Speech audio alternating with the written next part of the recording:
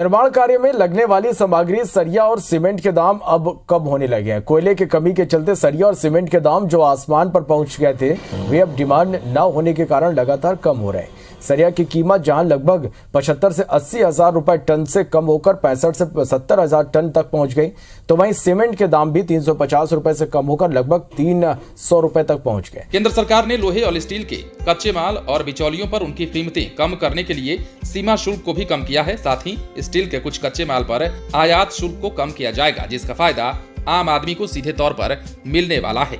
इतना ही नहीं, वित्त मंत्री निर्मला सीतारमण ने अपने ट्वीट में सीमेंट की कीमत कम करने के लिए बेहतर लॉजिस्टिक का सहारा लिए जाने की बात कही।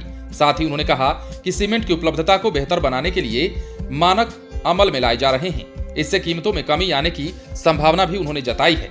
मई के मुकाबले बालू, ईट और गिट्टी में पाँच हज़ार ऐसी पच्चीस सौ रुपए तक की बढ़ोतरी हुई है। कारोबारियों की माने तो आने वाले दिनों में और भी इजाफा हो सकता है।